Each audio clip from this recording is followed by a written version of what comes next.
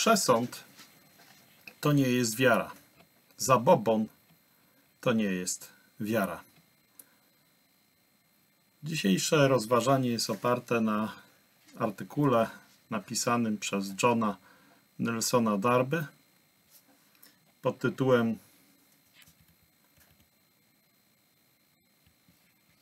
Prawdziwy charakter romanizmu. Darby napisał go około 1863 roku. Jeśli masz jakieś przywiązania religijne z religią rzymską, to ten artykuł może całkowicie podważyć Twoje dotychczasowe przywiązania. Dlatego czytasz na własne życzenie. Jeśli czytasz ten tekst, a jeśli chcesz skorzystać z tego, co ja przygotowałem jako moją interpretację tego tekstu, to też na Twoją własną odpowiedzialność. Przechodzimy zatem dalej. Przesąd to niewiara, prawdziwy charakter systemu religii rzymskiej. Pewne rzeczy, takie jak sposób oddawania czci Bogu, jak religijne zachowania, mogą być postrzegane przez ludzi jako prawdziwe, mimo tego, że są przeciwieństwem prawdziwej ufności ku Bogu i odwrotnością wiary raz na zawsze przekazanej w Biblii. I dlatego w istocie rzeczy są dla tej ufności i dla tej wiary niszczące.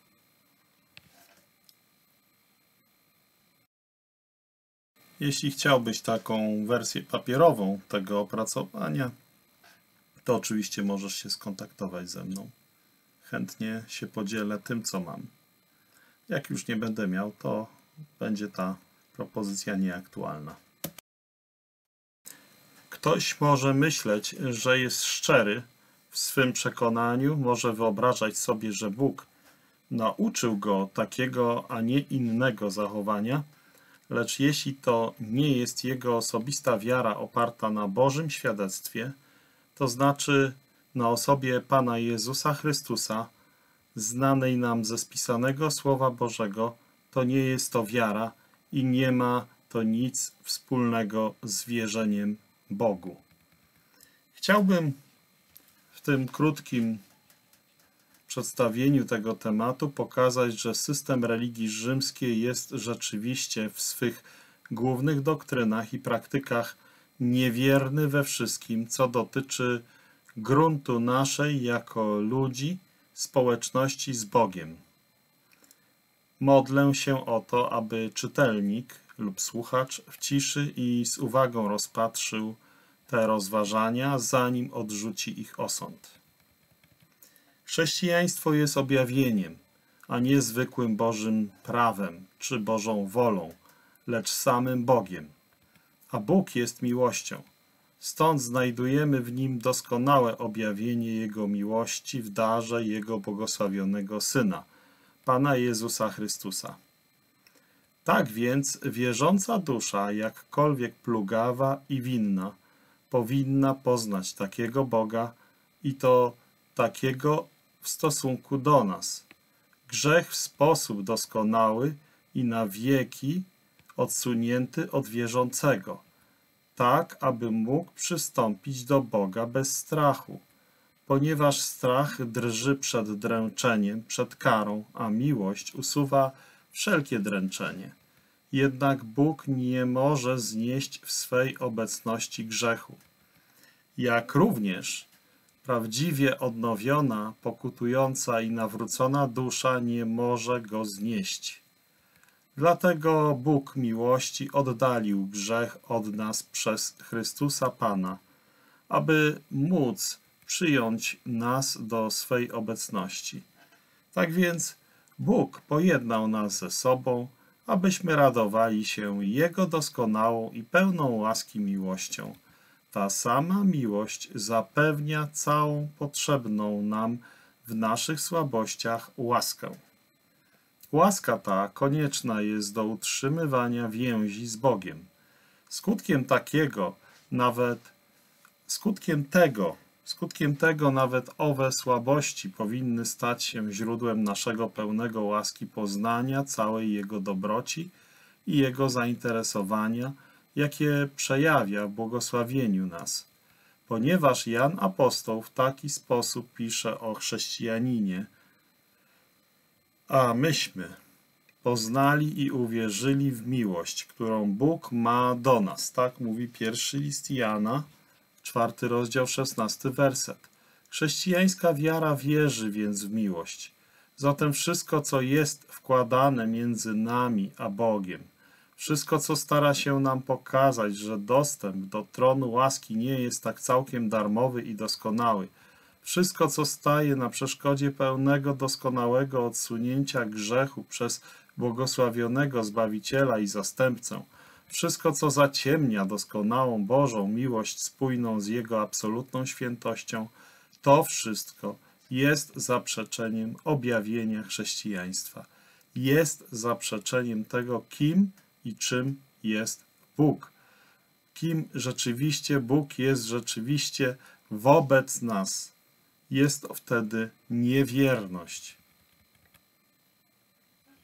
Jest jeden między nami grzesznikami a Bogiem. To jest Chrystus Jezus Pan.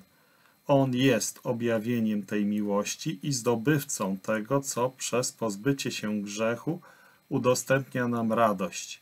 On jest wstawiennikiem, przez Niego codziennie odbieramy potrzebną nam łaskę, aby móc radować się Nim. To w Nim, który gdy był najbardziej uniżonym, łaskawym i dostępnym dla wszystkich człowiekiem, Bóg objawił się w ciele, Bóg błogosławiony na wieki, to w Nim, powtarzam i powiadam, to w Nim znamy Boga. Wszystko, co przysłania Bożą miłość czy doskonałą skuteczność dzieła Chrystusa, jest niewiernością w stosunku do Bożej pełni objawienia siebie. Między zwolennikami religii rzymskiej a wierzącymi Biblii chrześcijanami, którzy wierzą, że system religii rzymskiej nie jest z prawdziwego Boga, lecz jest błędny, że jest systemem odstępczego i ostrego obłędu, powstają dwa pytania. Czy doktryna, której naucza religia rzymska jest prawdziwa oraz jaki jest autorytet, któremu człowiek może zaufać, aby wiedzieć, że zna prawdę. W obu przypadkach system religii rzymskiej pozostaje niewierny. Powiedziałem system, system, ponieważ nie odrzucam tego, że jakaś biedna, nieświadoma dusza może wierzyć prawdziwemu Chrystusowi pomimo systemu, choć jej wiara będzie przesączona błędami systemu, Ludzka istota może dzięki łasce Bożej opierać się truciźnie, lecz to nie mówi, że podany środek, którego efektów udało się jej uniknąć, nie jest trujący. Gdyby Pismo Święte, gdyby Pismo Święte było traktowane jako autorytatywne Słowo Boże, jako inspirowane, inspirowane przez Boga, przez Niego, co każdy prawdziwie wierzący chrześcijanin przyznaje, rzymski system doktryn nie byłby w stanie utrzymać się nawet przez najmniejszą chwilę. Moim celem teraz nie jest wytykanie błędów, lecz niewierności w nich znalezionych. Przystępuję do wykazania tego. Biblia Święta uczy, że Chrystus Jezus, nasz Pan, jest jedną doskonałą, zastępczą, wystarczającą ofiarą. Pan Jezus Chrystus, nasz Pan, jedną ofiarą uczynił na zawsze doskonałymi tych, którzy są uświęceni, bo tak uczy nas Hebrajczyków 10 rozdział 14 werset. Cały system rzymskiej religii jest oparty na i identyczny z doktryną, że we mszy, we mszy rzymskokatolickiej jest ofiara za grzechy żywych i umarłych. Natomiast Pismo Święte uczy nas, że jedynym gruntem, na którym możemy stanąć w obecności Bożej, jest krew Pana Jezusa Chrystusa, która oczyszcza nas od wszelkich grzechów. Zwolennicy poglądów religii rzymskiej nauczeni są, że potrzebny jest do dokończenia tego oczyszczenia z grzechów czyściec, z wyjątkiem nielicznych dusz znajdujących się w szczególnym stanie uświęcenia. Te dwie rzymskie doktryny są prawdziwą niewiernością w stosunku do tego, czego nauczył nas Bóg dla pokoju naszych dusz. Bóg powiedział, że ofiarowanie samego siebie przez Chrystusa Pana było dziełem tak doskonałym i skutecznym, że nie ma potrzeby powtarzania go. W rzeczywistości, w rzeczy samej, nie może być powtórzona ta ofiara, ponieważ dla osiągnięcia tej skuteczności musiał cierpieć sam Chrystus, Jezus, nasz Pan. On ogłosił, że bez przelania krwi nie ma odpuszczenia, a stąd wynika, że jeśli by taka ofiara musiała być powtarzana, Chrystus musiałby ciężko, często cierpieć. Jednakże skuteczność Jego jednej doskonałej ofiary z siebie samego jest taka, że nie musi być powtarzana. Teraz więc, jeśli ktoś udaje składanie tej ofiary ponownie i głosi, że jest niezbędna, odrzuca skuteczność jednorazowej ofiary Chrystusa na krzyżu Golgoty. Oznacza to, że taka osoba jest niewierna lub niewierząca, jeśli chodzi o skuteczność osiągniętą przez ofiarę Chrystusa na krzyżu raz na zawsze. Jest to tym bardziej widoczne i jasne, że Paweł apostoł w liście do Hebrajczyków, do którego się odnoszę, dokonuje kontrastu między powtarzanymi stale ofiarami składanymi przez Żydów, a wynikających z niezdolności tych ofiar do doprowadzenia sumienia do doskonałości. I teraz to jest kontrast z Chrystusem ofiarowanym raz i to na zawsze, ponieważ Jego ofiara czyni doskonałymi tych, którzy są uświęceni, bo tak mówi nam list do Hebrajczyków, 10 rozdział, 14 werset. Co więcej, przez przyjęcie rzymskiej doktryny, ofiary we mszy, człowiek staje się niewierny w stosunku do autorytetu Słowa Bożego, które ogłasza, że w konsekwencji nie ma już ofiary za grzech. Zwolennik systemu religii rzymskiej twierdzi, że nadal jest ofiara za grzech. Twierdzi on, że jest taka ofiara we mszy znaczy to, że pozostaje niewierny wobec tego, co jest fundamentem chrześcijaństwa. Fundamentem chrześcijaństwa jest ofiara Chrystusa na krzyżu. Zdaję sobie sprawę, w pełni zdaję sobie sprawę z tego, że system rzymski naucza, iż msza jest ofiarą bezkrwawą, lecz ta wymówka jest bezużyteczna, ponieważ deklaracja Słowa Bożego jest taka, że nie ma już więcej ofiary za grzech. Nie tylko jest bezużyteczna, lecz czyni nawet rzecz gorszą, ponieważ rzymska doktryna głosi, że bezkrwawa ofiara jest skuteczna do odpuszczenia grzechów, podczas gdy Pismo Święte mówi, że bez przelania krwi nie ma odpuszczenia, jak mówi nam Hebrajczyków 9:22. Tak więc rzymska doktryna sprzeciwia się Słowu Bożemu wyraźnie. Zauważ, zauważ, że owa doktryna o bezkrwawej ofierze jest również niewiernością w stosunku do natury grzechu.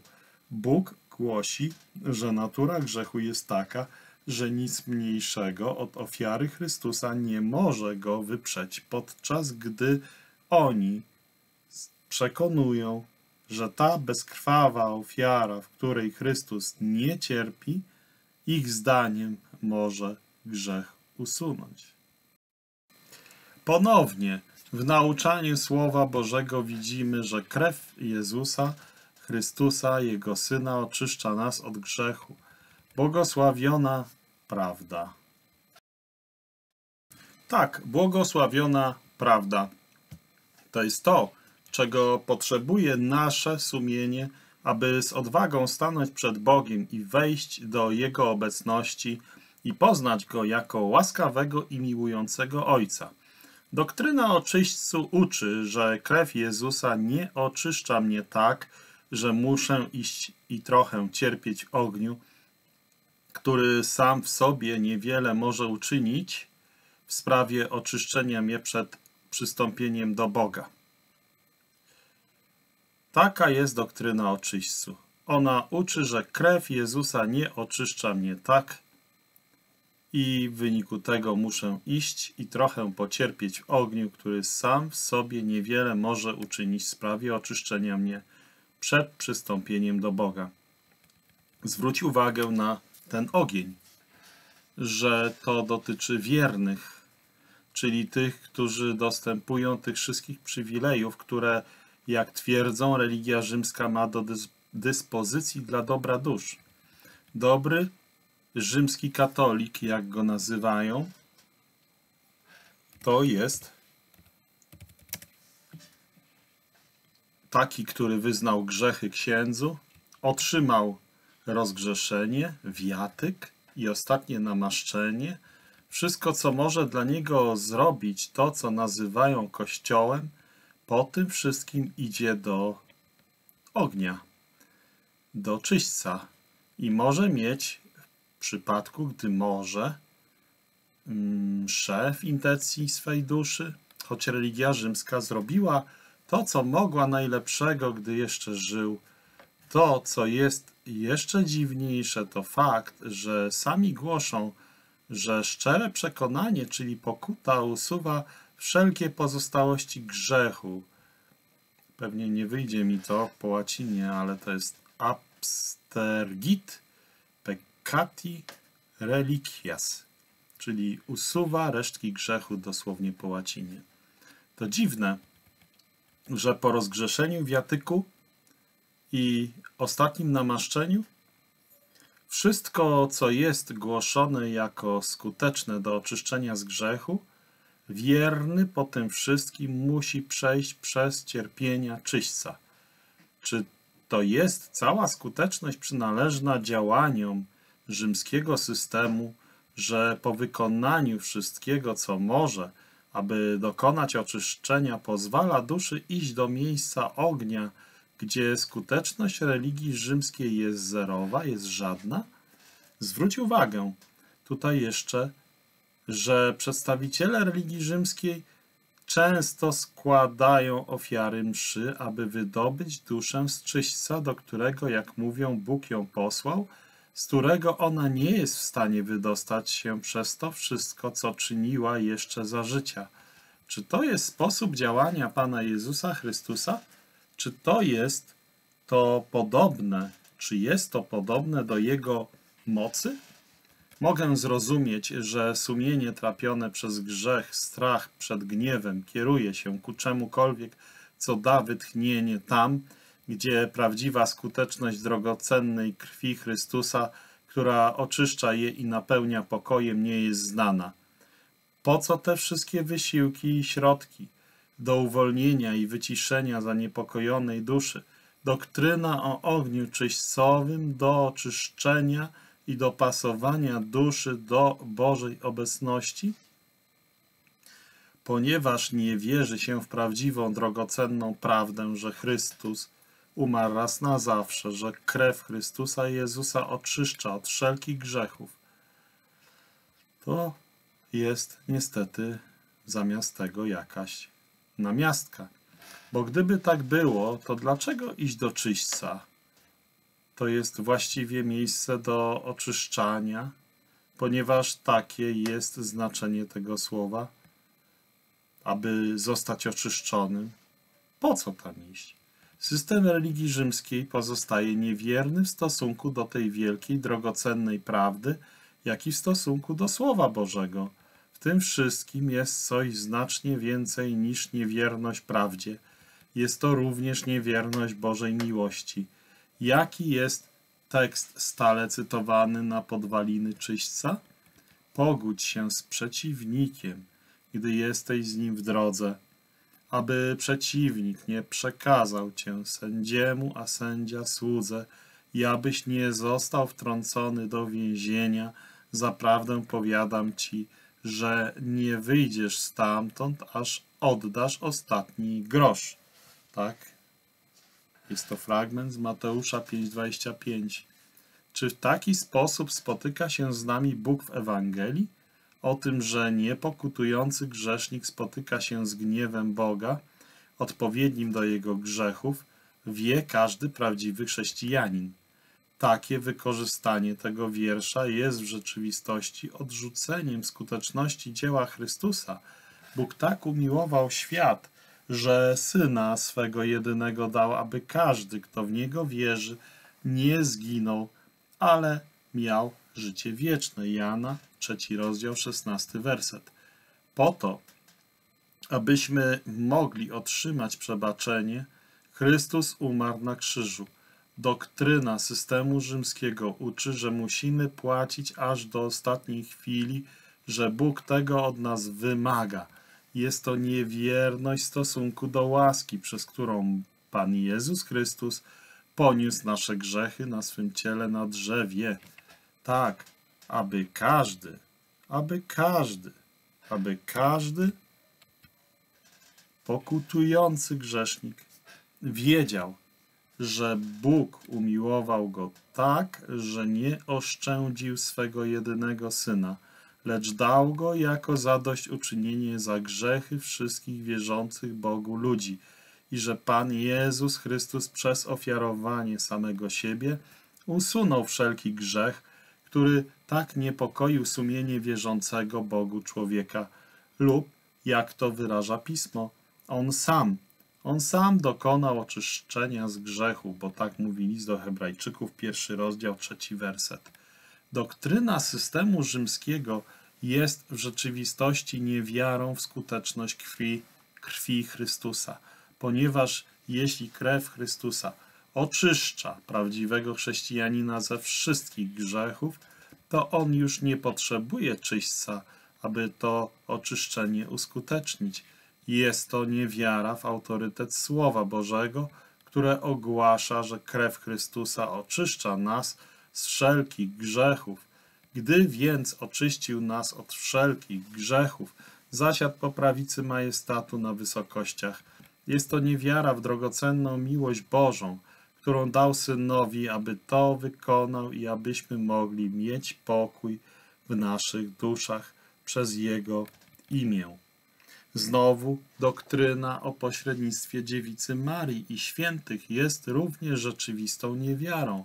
Pismo ogłasza, że nie ma innego pośrednika między Bogiem a ludźmi, jak tylko człowiek Chrystus Jezus. Tak mówi pierwszy list do Tymoteusza, drugi rozdział, piąty werset.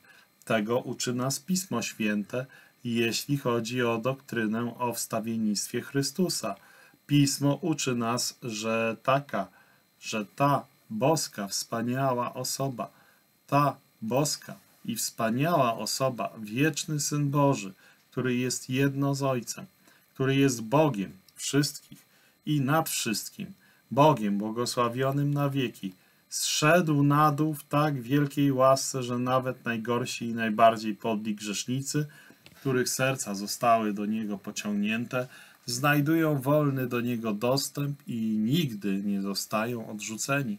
Raz to była niewiasta z miasta, która była grzesznicą. Gdy Pan Jezus był w mieszkaniu, wolno jej było wejść i liczyć na tę łagodną dobroć, która inspirowała przekonanie w jej sercu, budząc sumienie w najgłębszy sposób, ukazując obrzydliwość jej grzechu.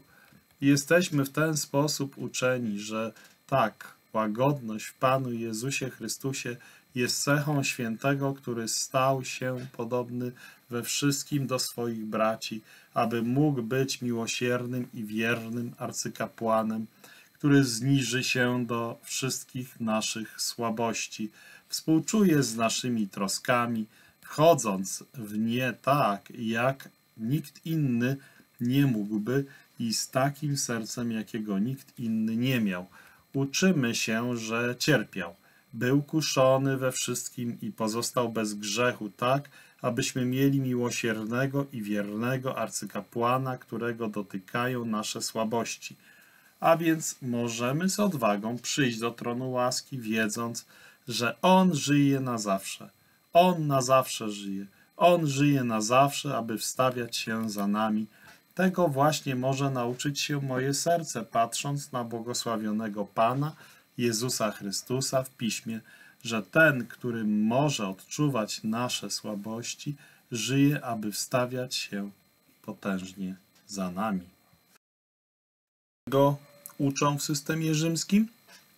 Że nie mogę taki przyjść przed Niego, że nie mogę liczyć na Jego łagodność, że On jest zbyt wysoki, zbyt odległy, że Maria ma łagodne serce jako kobieta, że muszę iść do Niego poprzez nią, tak jak w przypadku jakiegoś króla lub wielkiego człowieka, który może być dla mnie zbyt wielki, aby wolno mi było przed nim stanąć, lub że muszę zwrócić się do świętych. Czy mają oni zatem serca łagodniejsze, bardziej uniżone niż ten, który przyszedł na tę ziemię po to, aby zapewnić nas o swej miłości? Czy Maria, jakkolwiek błogosławiona, nie, przy, przyszła z nieba, aby szukać mnie w swoich, y, w moich troskach i nędzy? Czy też Pan Jezus Chrystus zmienił się i jego serce stwardniało od czasu jego wstąpienia na wysokości? Nie. Doktryna o wielu pośrednikach i o dziewicy Marii jako tej, przez której serce mam przystępować do serca Jezusa jest niewiarą w łaskę Chrystusa Jezusa. Odrzuca Jego chwałę jako współczującego arcykapłana. Zstąpił z nieba i cierpiał na tej ziemi, abyśmy mogli wiedzieć, że możemy przyjść do Boga przez Niego, jak również, że On może odczuwać wszelkie nasze słabości sam i może być przez nie dotykany. Rzymska doktryna mówi mi, że nie wolno odważyć mi się tego robić, że aby przyjść do Niego, muszę zbliżyć się do bliższych i bardziej czułych serc.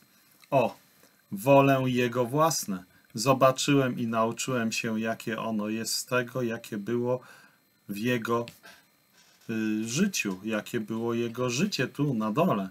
Mogę na nie liczyć bardziej niż na jakiekolwiek inne.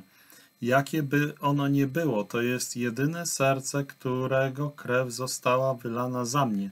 Ufam Jego dobroci bardziej niż wszystkim Mariom i świętym, jacy istnieli, błogosławionym w miejscach, w których się znajdowali.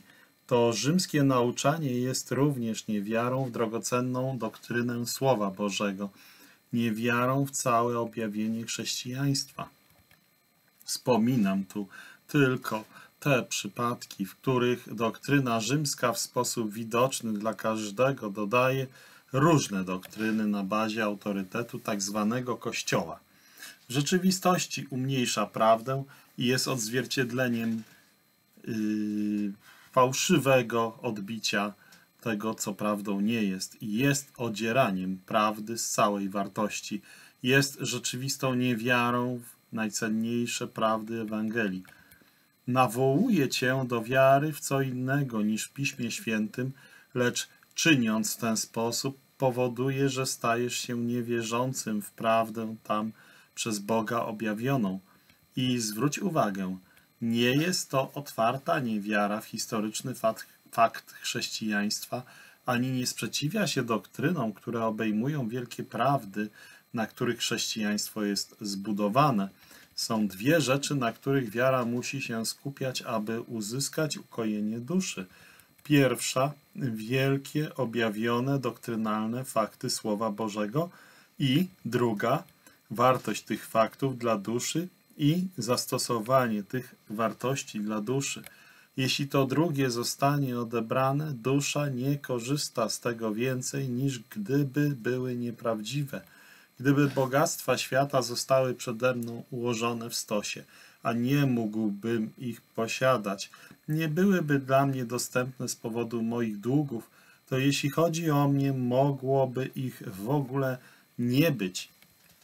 Tak samo rzymski system nie odrzuca faktów, lecz ich dostępność dla mojego spokoju, nie odrzuca zadośćuczynienia za grzechy na krzyżu, nie odrzuca trójjedyności Boga, nie odrzuca odwiecznego synostwa Pana Jezusa, nie odrzuca wcielenia ani boskości Chrystusa, trzyma się mocno tych prawd, tak, że na pierwszy rzut oka nie można go było podejrzewać o niewiarę. To zniszczenie wiary w aktualną wartość i zastosowanie tych prawd dla grzesznika odebrało drogę pokoju dla duszy.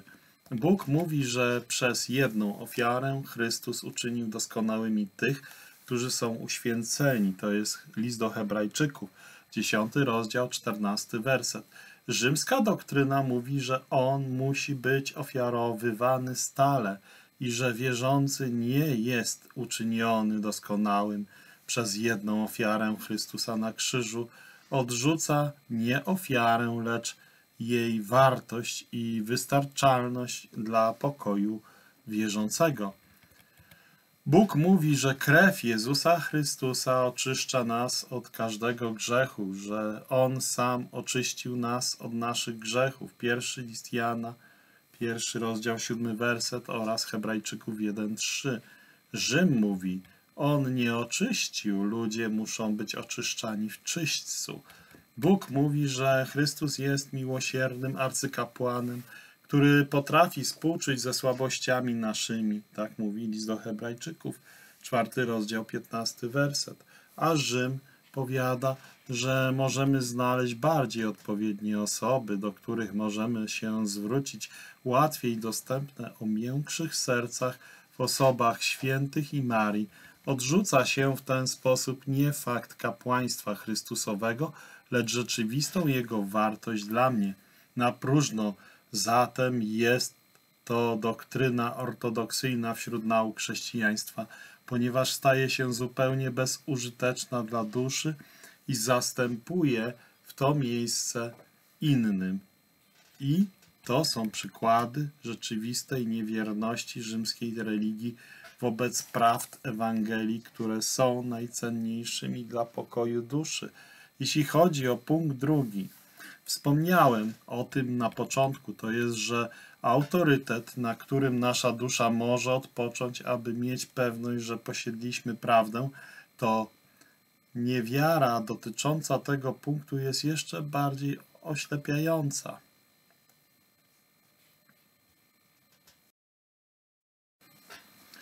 Zakładałem już w poprzednich słowach, że autorytet inspirowanego Słowa Bożego jest przyznany, jak przyzna każdy prawdziwy wierzący. Rzym się z tym nie zgadza. Uwaga! Tak, uwaga! Nieprzyznanie tego jest niewiarą. Ktoś, kto nie przyznaje autorytetu Bożemu inspirowanemu Słowu, jest niewiernym. Jeśli Bóg napisał księgę i przeznaczył ją w ogólności dla człowieka lub dla tych, którzy zwą się chrześcijanami, to postępując w ten sposób nałożył na nich odpowiedzialność za przyjęcie i poddanie się temu, z czym on się w ten sposób zwrócił. To, z czym Bóg się do nich zwrócił, obliguje ich sumienia. Jeśli tak nie jest, to on chybił celu, do którego się zwrócił – nie był w stanie tych, do których się zwrócił, obłożyć odpowiedzialnością przyjęcia tego, co powiedział, jeśli, jak powiada system religii rzymskiej, zwykły wierny nie może poznać Słowa Bożego i że nie jest on w stanie przyjąć go jako takiego. Z dwóch jedna rzecz jest prawdziwa. Ten, kto tak twierdzi, sam odrzuca je jako objawione Słowo Boże, albo zdecydowanie stwierdza, że Słowo Boże nie jest samo w sobie wiążące dla tych, do których zostało przeznaczone. Bóg więc zawiódł, pisząc w ten sposób, że nie umożliwił jego przyjęcia jako obowiązujące przez sumienie czytającego. Oba przypadki są niewiarą i wspólnym gruntem zajętym przez niewiarę a ten ostatni, że Bóg zawiódł, jest szczególnie bluźnierczym rodzajem niewiary. Niemniej jest to właśnie stanowisko zawsze przyjmowane przez rzymską naukę i jest to czyste stanowisko niewiary. Jeśli autorytet systemu rzymskiego jest rekwizytem przeznaczonym po to, aby ludzie uwierzyli Biblii i przyjęli ją jako Słowo Boże, to Bóg nie przemawiał w taki sposób, aby związać sumienie i zobowiązać do wiary bez kogoś dodającego czegoś do jego autorytetu, tak aby to zostało przyjęte. Jakiż to może być system, który nadaje Bożemu Słowu autorytet nad sumieniem i obliguje go do wiary w nie, czego nie może zrobić samo Słowo, choć wypowiedział je Bóg. Pozostawiam to do rozważenia człowiekowi czczącemu Boga. Jeśli Bóg wydaje o sobie świadectwo, to człowiek jest zobowiązany wierzyć w to. Jeśli nie, winien jest odrzucenia świadectwa Bożego i z całą pewnością dzień sądu Bożego pokaże, że to nie Bóg zawiódł, dając świadectwo mogące związać sumienie i zobligować do wiary, lecz że to ludzkie grzeszne serca zwiodły ludzi. Gdy się objawił błogosławiony Pan, mogło być i było wiele wymówek powstałych w niewiernych sercach. Lecz On mógł powiedzieć, jeśli nie uwierzycie, że to ja jestem w grzechach swych pomrzecie. Tak mówi Jana 8 rozdział 24 werset. Tak więc Jan, jeśli chodzi o świadectwo Boże, Ewangelii w ogóle, pisze, kto nie wierzy w Boga, uczynił go kłamcą, gdyż nie uwierzył świadectwu, które Bóg złożył o Synu swoim. Pierwszy list Jana, piąty rozdział, dziesiąty werset. Taka osoba była winna, winna niewiary. Tak więc w Słowie Bożym jest świadectwo i obowiązkiem człowieka jest uwierzyć. Wątpliwości, wymówki i trudności mogą budzić się w niewiernym umyśle – lecz Boże świadectwo o nim samym jest w każdym przypadku wystarczające, aby zobowiązać człowieka do wiary w nie i do poddania Bogu swego sumienia.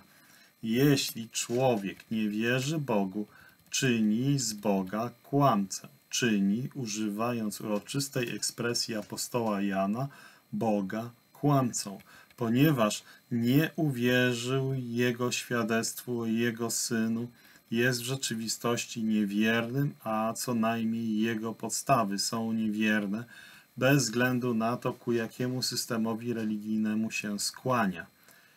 A teraz, co mówi na ten temat system religii rzymskiej? Powiada, że nie możesz wierzyć pismu bez przydzielonego systemowi religii rzymskiej autorytetu.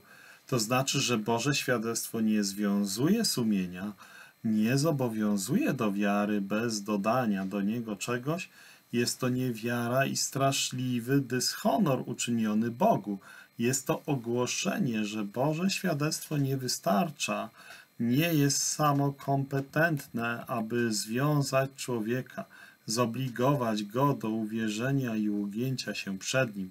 Oznacza to, że to, co dał Bóg jako świadectwo, jest niewystarczające. Tak więc jeśli się przed nim nie ugnę, to znaczy pozostanę niewiernym, to pozostaję w ten sposób usprawiedliwiony. Jest to najwyższa zdrada Boga i Jego prawdy.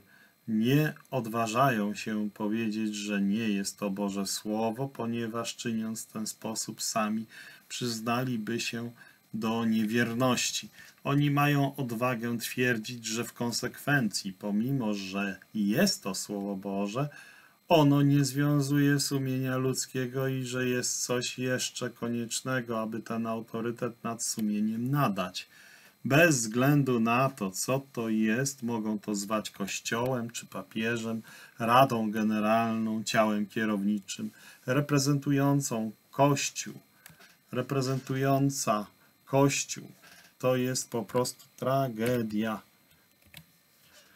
Jest to coś poza słowem, bez czego Boże własne słowo nie wiąże sumienia ich zdaniem. Słowo Boże jest świadectwem wobec ludzkiego sumienia. Świadectwem, które niesie Boży autorytet samo w sobie. Jeśli człowiek nie ugnie się przed nim, gdy jest udzielane w łasce jako świadectwo ku zbawieniu, będzie zmuszony do ugięcia się przed Bogiem, przed nim, gdy będzie od niego, od człowieka żądane na sądzie. Gdy to będzie żądane na sądzie. W świecie religia rzymska ogłasza, że bez tego, co jest nazywane autorytetem Kościoła rzymskokatolickiego, Boże Słowo nie zobowiązuje mnie do wiary w to Słowo. Ta doktryna jest niewiernością wobec prawdziwego autorytetu Słowa Bożego i coś więcej. Jeśli nie wierzę w to, co mówi Słowo Boże bez autorytetu systemu rzymskiego, to nie wierzę Bogu wcale. To nie jest wiara w Boga, to może być wiara w Kościół, kościelnojaństwo, lecz nie jest to wiara w Boga, ponieważ gdybym miał tylko to, co Bóg powiedział, nie uwierzyłbym temu. Gdy system religii rzymskiej mówi mi, aby wierzyć, wierzę. To jest wiara w system, a nie wiara Bogu. Wiara w system, a nie wiara Bogu. Uwierzył Abraham Bogu i zostało mu to poczytane ku usprawiedliwieniu. Wiara, gdy jest wyłącznie autorytet Boży, jest wiarą Bogu. Nic innego nie jest tą wiarą. Wymaganie świadectwa systemu rzymskiego to jest do zatwierdzenia świadectwa Bożego jest dyshonorem wobec niego i niewiarą. Rzym jako taki nie ma prawdziwej wiary wcale, ponieważ nie wierzy Bogu na podstawie jego własnego autorytetu, lecz na podstawie autorytetu systemu religijnego. Gdy niewolnicy tego systemu czytają lub słyszą Słowo Boże, Bóg może niektórym spośród nich dać wiarę pomimo niewierności doktryny ich organizacji. Pamiętajmy, że prawdziwa wiara jest wiarą w to, co Bóg powiedział, ponieważ Bóg to powiedział.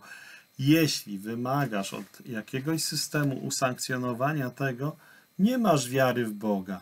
Nie uginasz się przed Jego słowem, dopóki nie jest to usankcjonowane przez kogoś innego. Łatwowierność przesądom nauczanym przez ludzi nie jest wiarą w Boga. Wiara w Boga wierzy w Jego Słowo bez jakiegokolwiek innego autorytetu, jak tylko samo spisane Słowo Boże Biblia. Znaczy to, że system religii rzymskiej jest niewiernością wobec najbardziej drogocennych i fundamentalnych praw chrześcijańskich. Jest również niewiernością wobec autorytetu samego Bożego Słowa. Był to przedstawiony przez Johna Nelsona Darby w artykule Prawdziwy charakter religii rzymskiej. Argument przedstawiający fakt, że religia rzymskokatolicka trzyma mocno różnych doktryn chrześcijańskich, ale jest im niewierna i zmusza swoich wyznawców do niewierności.